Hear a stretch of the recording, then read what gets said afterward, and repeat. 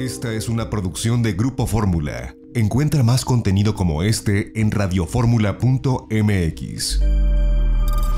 Pues vamos a hablar de teatro, ¿sí?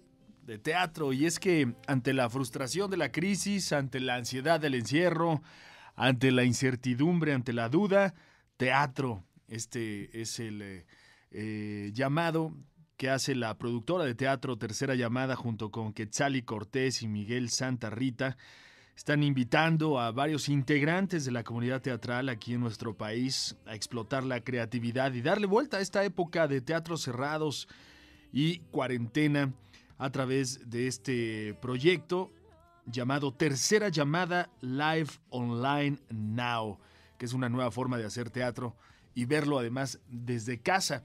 Regina Blandón es una de las actrices que participa en este proyecto y que nos va a poder dar más detalles al respecto. Querida Regina, te saludo con muchísimo gusto. Muy buenos días, espero que estés bien tú y toda tu familia. Javier Poza, ¿cómo estás? Muy bien, Regina. De hablar contigo, este, y sí, bendito Dios, este, eh, mi familia y, y, amigos y demás, este, estamos bien, manteniendo la sana distancia. Espero que los tuyos también. ¿Cómo te, ¿Cómo te ha sentado este encierro, esta cuarentena? ¿Cuánto llevas si es que la estás cumpliendo al 100%?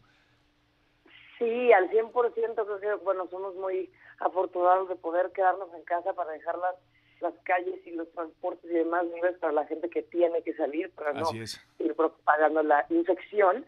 Entonces, sí, llevo pues, sí, mis 30 días, pues, preparamos todas producciones, estábamos filmando en Veracruz y este y pues, todas las producciones pararon, entonces te regresamos acá a la ciudad y este pues días días mejores días no tan mejores.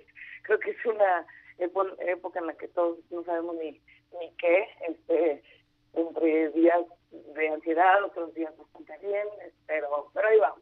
Ahí vamos. a hacer teatro. Un día a la vez Regina no exactamente exactamente. Oye eh, eh, sin embargo esta esta eh, idea, pues resulta por demás interesante esta idea de tercera llamada Live Online Now. ¿De qué se trata, Regina? ¿Qué van a hacer y cómo le van a hacer sobre todo?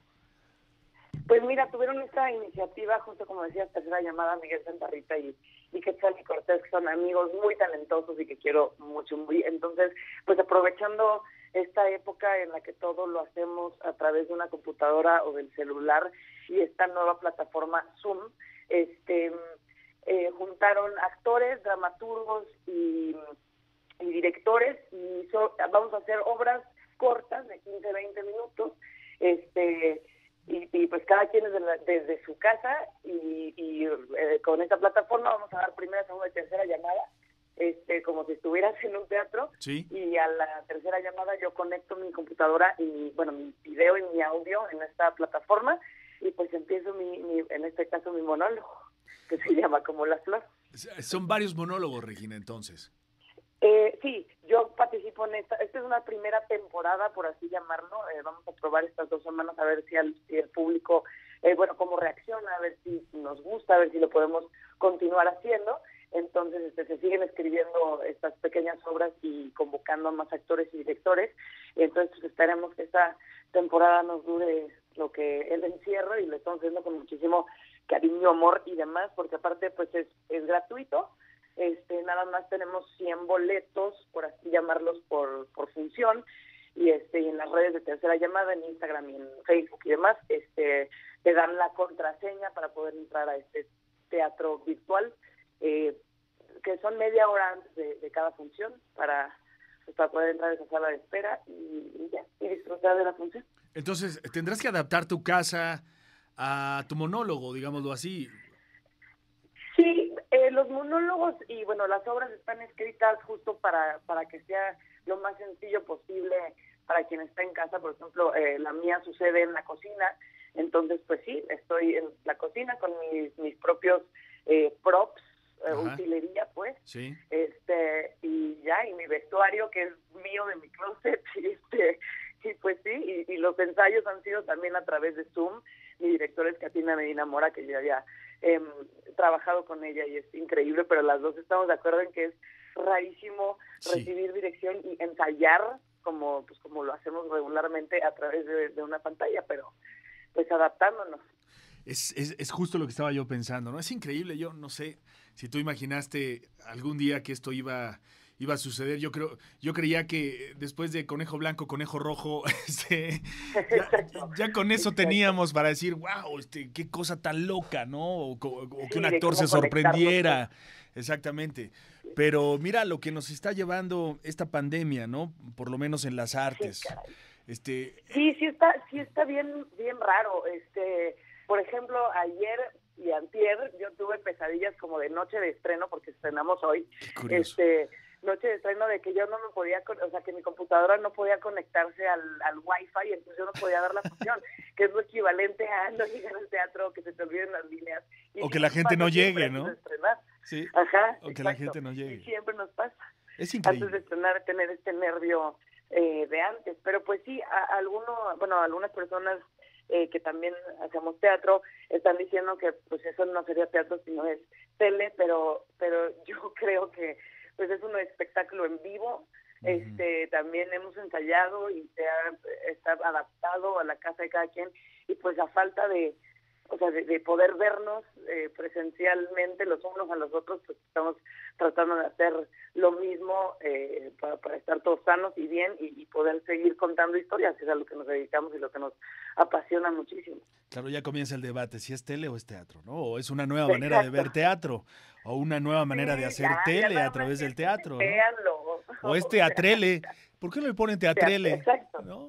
Exactamente. Eh, lo, importante creo yo, fíjate que eh, en estos días recientes he estado muy enfocado en tratar de encontrarle lo positivo a toda esta situación que estamos viviendo, en enfocarnos en lo bueno, porque yo siempre he pensado que dentro de una crisis siempre hay una oportunidad y siempre hay un una siempre siempre una crisis te deja un aprendizaje que te transforma, Regina. Entonces, estoy como que muy centrado en tratarle de encontrar lo positivo a este asunto y cada que converso con alguien es, "Oye, ¿y qué hay algo positivo que te haya dejado este encierro, esta, este, este sobrante de tiempo, esta posibilidad de reflexionar, de echar para adentro, has descubierto algo nuevo en ti, has hecho algo que antes no podías hacer. Y creo que esta es una manera, al fin y al cabo, de encontrarle algo positivo a esta crisis, ¿no? Esta manera de hacer teatrele o tele o teatro, como tú le quieras llamar, ¿no? Tú en particular, ¿qué positivo, qué, qué positivo has encontrado en esto? Este, pues justamente eso, eh, ahorita los últimos años, gracias a Dios, eh, por, por carga de trabajo no había tenido mucho tiempo ni para estar en mi casa o conmigo o demás, entonces dejas que pues que cosas exteriores realmente se, se metan en, eh, en el camino de lo que realmente importa. Ahorita todos decimos, o sea, yo muero de ganas por ir a abrazar a mis abuelos. Mi, abuelo tiene 93, mi abuela 87 y están recluidos desde hace mes y medio en su casa este, con las mismas personas sin salir porque pues son eh, la, pobre, la población vulnerable, ¿no? Entonces, este eh, justo eso y me, me, he dado cuenta como de no necesito tanto estar en el celular atendiendo quién sabe qué, porque no, o sea, no es tan importante. Eh, he vuelto a cocinar, que, que realmente no lo hago por falta de, de tiempo, he leído las cosas que no he podido leer y este pues eso, eh, me justo por estas plataformas este para hablarnos y vernos a la cara como podemos. He reconectado con gente con la que hace mucho no hablaba, pero eso sí, esta necesidad impetuosa de, de poder conectar, ¿no? Y poder saber qué le está pasando a alguien más afuera y este y vernos otra vez y, extrañarnos y abrazarnos y, y pues esto es una oportunidad justo como de renacer, resurgir y, y valorar lo que realmente importa y cómo nos estamos acabando este nosotros, ¿no? Entonces, reconsiderar eso y, y, pues ojalá regresemos una sociedad más unida, más despierta, más, pues, no sé, más, más chida, pues. Sí, yo también lo espero, Regina. Por lo pronto espero que te vaya muy, muy bien en este, en este estreno. Este, entonces, ¿cómo le hacemos? ¿A qué hora es la cita? Eh, tenemos tres funciones, eh, vamos a hacer temporadas de jueves y sábado a partir de las ocho y media de la noche. Sí. Entonces, media hora antes de cada función. O sea, a eh, las ocho. A las redes de, ajá, a las ocho, a las redes de tercera llamada y ahí van a, van a mm, publicar las contraseñas para entrar a las tres funciones. Son tres diferentes contraseñas. O sea, no es permanencia voluntaria, pues. Entonces, este, te vas metiendo media hora antes de cada función, metes tu contraseña de de Zoom, o sea, descargas la aplicación, metes tu contraseña Y pues ahí estás en el waiting room, primera, segunda y tercera llamada. Y este, pues échense una botana y a disfrutar. Muy bien. Hoy solo estás tú, ¿verdad? Con este monólogo. Este, no, son, son otras dos obras. Son Ah, eh. Subasta de una pieza tonta y del correcto hacer de los dientes, de diferentes autores, son Miguel Alejandro León, este, Benjamín Can, y eh, la nuestra que es como la flor, y este y una es a las ocho y media, ocho y cuarto, este, ocho cuarenta y cinco y nueve y cuarto, que es como la flor. ¿Cuánto duran? Eh, 15, 20 minutos. Ya está muy bien, está muy bien, está, está ágil, Sí, está interesante este ejercicio, de verdad, interesante. Vamos Sí, a ver, qué tal. qué resultado trae. Seguramente será muy positivo, por lo menos eso te deseo, Regina. A ti y a todos los que están participando en esta mm, nueva manera de seguir haciendo lo que hacen y tener la oportunidad de presentárselo al público también para que se entretenga en este en este encierro, de verdad. Felicidades por eso, Regina, ojalá. un abrazo. Muchas gracias. Estamos y en quienes se unan nada más, acuérdense de quitar eh, el audio y el video, porque si no va a ser muy raro luego alguien grite así como de, ya está la cena. Vas a tener que concentrarte mucho. Muy bien. Ahí está Exacto. la recomendación. Éxito, Gracias, Regina. Javier. Te mando un beso. Te mando otro con todo cariño. Gracias. Regina Blandón, señoras y señores. Interesante este ejercicio de teatrele, ¿no? A ver, a ver qué tal les va. Esta fue una producción de Grupo Fórmula. Encuentra más contenido como este en radioformula.mx.